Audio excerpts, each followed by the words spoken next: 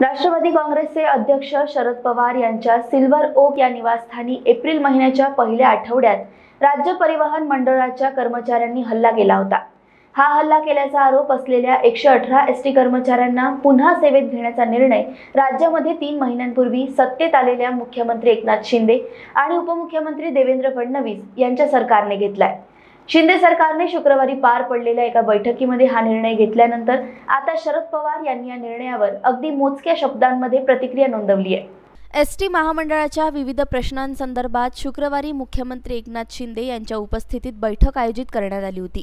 यावेळी S T संदर्भातील कर्मचाऱ्यांचे पगार वेगवेगळ्या उपाययोजना सातवा वेतन आयोग महामंडळाचं राज्य सरकारमध्ये विलिनीकरण यासह इतर महत्त्वाच्या मुद्द्यांवर चर्चा झाली.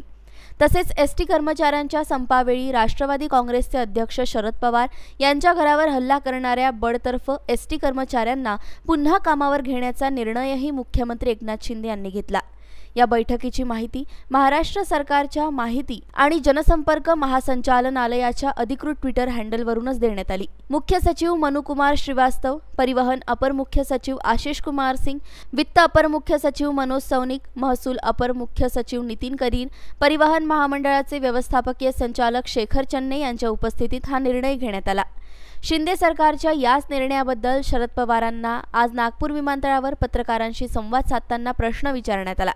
या प्रश्नाला शरद पवार यांनी अगदी मोकळ्या शब्दांमध्ये उत्तर दिले. सरकारचा निर्णय आहे सरकाराने ठरवावं अशी प्रतिक्रिया नोंदवली आहे नागपुर इज़ फ़ेमस फॉर संतरे टाइगर ज़ीरो माइल और साउजी खाना। और साउजी खाने को उसका असली स्वाद देते हैं साउजी मसाले, जिससे बनता है ऑथेंटिक साउजी खाना। मसालों में मसाले अहिरकर ग्रुप के साउजी मसाले।